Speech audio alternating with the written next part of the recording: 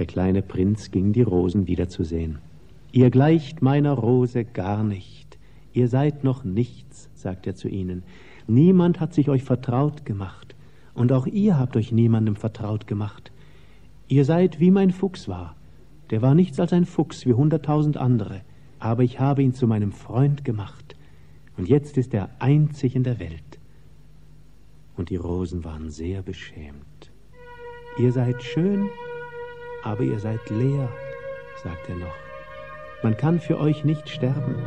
Gewiss ein Irgendwer, der vorübergeht, könnte glauben, meine Rose ähnle euch, aber in sich selbst ist sie wichtiger als ihr alle, da sie es ist, die ich begossen habe, da sie es ist, die ich unter den Glassturz gestellt habe, da sie es ist, die ich klagen oder sich rühmen gehört habe oder auch manchmal schweigen, da es meine Rose ist.